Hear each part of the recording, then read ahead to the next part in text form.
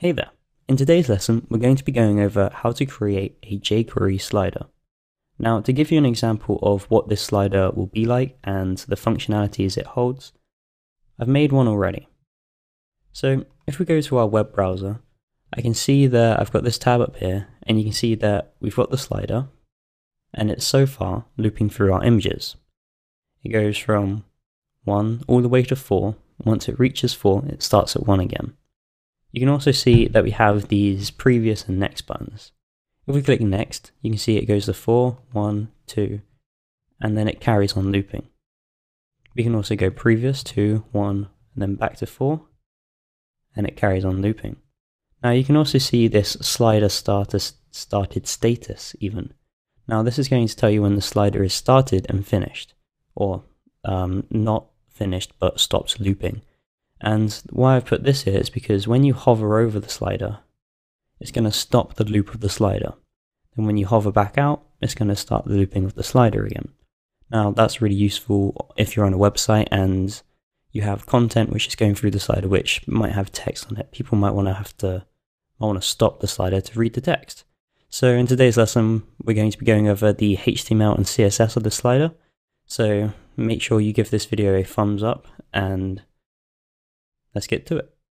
Okay, so the first thing we're going to do is we're going to create a new folder on our desktop. Now this is where we're going to keep all of the structuring for the slider. So it's going to have the HTML, the JavaScript, CSS, and the images. So I'm just going to call it slider. Now once we have that folder, what we're going to do is we're going to open it up. And within this folder, we're going to create three new folders. The first folder is going to be images and that's going to contain your slider images.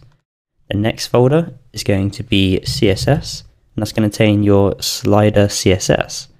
And then the last folder is going to be JS, and you guessed it, that's going to contain your slider JavaScript. Now after this, all we need to do is create the actual HTML structure.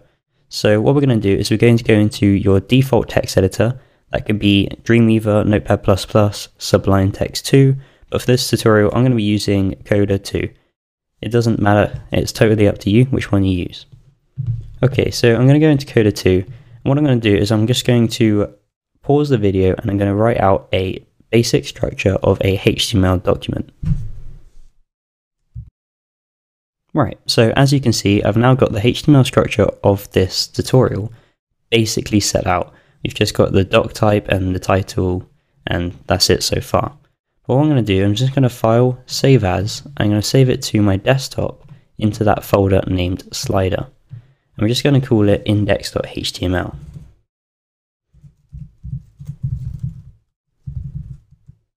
Right, so once that's saved, the next thing we're going to do is we're going to create the CSS document for the slider. So I'm going to go to File, New, and I'm going to create a new CSS document. Then I'm going to File, Save As, and I'm going to save it into that folder called CSS within the slider folder, and I'm just going to call it slider.css. Now the next thing we need to do is we need to link these files together. So within the head of our slider, what we're going to do is we're just going to type in link rel equals stylesheet, and then href is going to be within the CSS folder and we're going to, and we called it slider.css and close it off. Okay, so now we've got the HTML structure basically set out and we've got the slider CSS in that document. What we're going to do is we're just going to lay out how the HTML will sort of support the slider. So what we need on the page is we need a div with the ID of slider. Now the reason why I chose an ID is because this div is going to be a unique element on the page. There's not going to be another slider on the page. If there's another slider on the page, I suggest that you use a class. Alright, so we're just going to close that div off and within this is what our images are going to be or where our images are going to be displayed. So I'm going to go to my desktop and I'm going to go into the slider, into the images folder and you see I've got no images. So what I'm going to do is I'm just going to drag some images which I have already into that folder. And they're just basic images. They can be however big you want and whatever, um, how many you want. You just need to put them into the document. So what I'm going to do is I'm going to go back into my document and I'm just going to put in all my images. Okay, so once I've included these images with just a simple image tag, nothing else, what I'm going to do is I'm going to have two links, one saying next and one saying previous. Okay, so now that I have these links, you can see that I've just linked, linked them to the hash symbol so that we don't have to worry about them going to another page for yet. We're going to do that in jQuery by making it not do the default thing by going to another page and actually running a function instead. But we'll get to that in another lesson. Right, so what you'll realize is that if we then go to our folder on our desktop and we called it slider, if we open index.html, you can see it just looks like a big mess on the page with four images and the previous and next button. So what we need to do is we need to style this.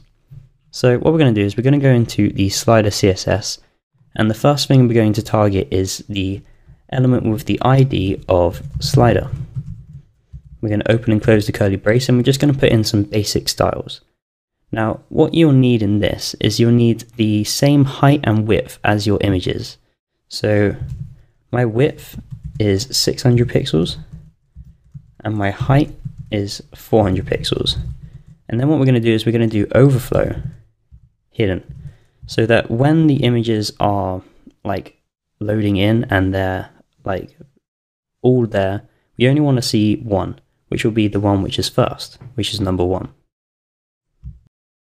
Right, so now we have this, the images are going to be displayed in a nicer way. But what we want is we want the slider to be in the center of the document. And how I'm going to achieve that is I'm just going to be putting margin, 30 pixels from the top, and then all of the others are going to be auto and that will make it auto align into the center of the document. Once that's done, we can just save and then we can go back into our web browser and refresh and you can see that we now have the one image on the document. Right, now what I'm going to do is I'm going to target the image tags within this slider. So I'm going to do the hash symbol slider targeting the ID of slider and then I'm going to do a greater than symbol and then image. So this will target the image tags within that slider. Now, one thing I'm going to do is I'm just going to make sure they have the width and the height of the slider by setting it in the CSS. The next thing I'm going to do is I'm just going to float them to the left and then I'm also going to set the default display on them as none.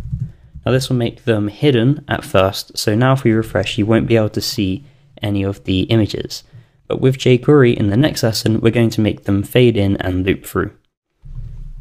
Okay, so now that's done, all I need to do now is uh, target the left and right buttons. So what I'm going to do is I'm just going to target the A tags altogether. You can define them to a specific class, but I'm keeping it simple. And I'm just going to have the padding of, let's say, 5 pixels on the top, 10 pixels on the left and right. I'm going to give it the background color of F0, F0, F0. I'm going to allow the margin top to be 30 pixels and then text decoration is going to be none because I don't want that horrible underline. Now, if we refresh, you can see that these links have been styled, but they're all the way over here. So one thing we can do is we can wrap everything in a container div, which are normally called wrappers. So I'm creating a div with the class of wrapper, and I'm wrapping everything within it. Then, for that wrapper class, what I'm going to do is I'm just going to define a width.